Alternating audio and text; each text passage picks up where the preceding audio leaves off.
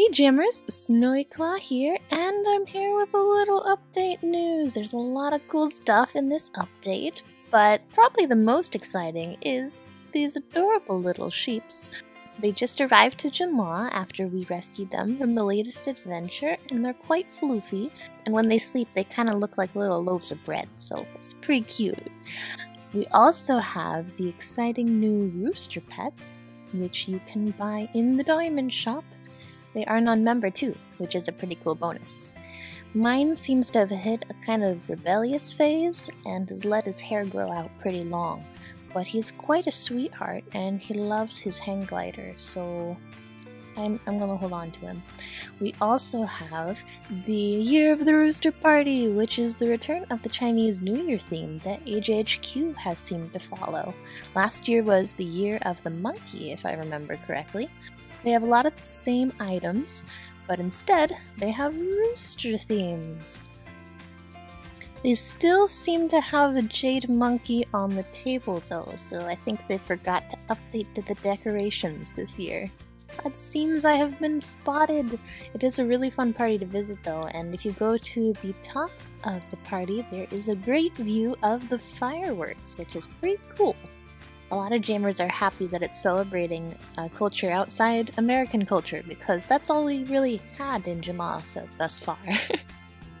There's also a fun new seasonal adventure called New Year's Fortune, which is led by Liza, and you have to collect each of the red envelopes that appear every two minutes around the area. It's actually pretty tough, so I recommend getting a whole bunch of your friends involved and you guys can all search together. They have some pretty cool items in here as well. Sometimes you get gems, and then other times you get these exclusive items for the Chinese New Year, which I bet will not appear for, well, at least a year. So. There's also, as with all recent updates, a new epic den to visit the Winter Palace, which if my hunch is correct, there may be a secret item in here somewhere. We just have to take a look. Hmm. Where could it be? Ooh, there's some pretty cool items in here. I'm not sure all of these are released. Let's see, ooh, those roses. Hmm. And that non-glitched Yeti rug. And that stained glass of Sir Gilbert's pretty cute. Whoa, look at that shark couch.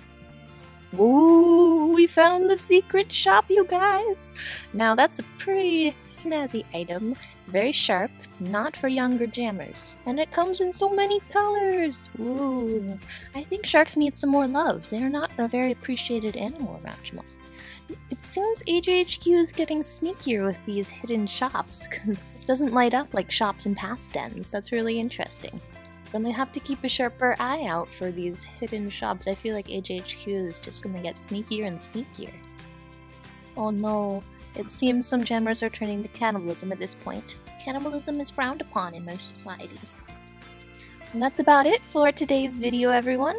I hope you enjoyed this latest update, and be sure to stop by AJHQ's channel for the latest live stream. I'm a little guest in that one too, if you can hear me. Be sure to purchase your shark couches before they go out of stores, because you never know when these dens will just poof, disappear.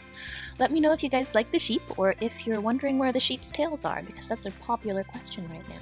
Did the phantoms take them? Or are they underneath all that fluff? The world may never know. Happy jamming, everyone, and hope to see you in Jamaa.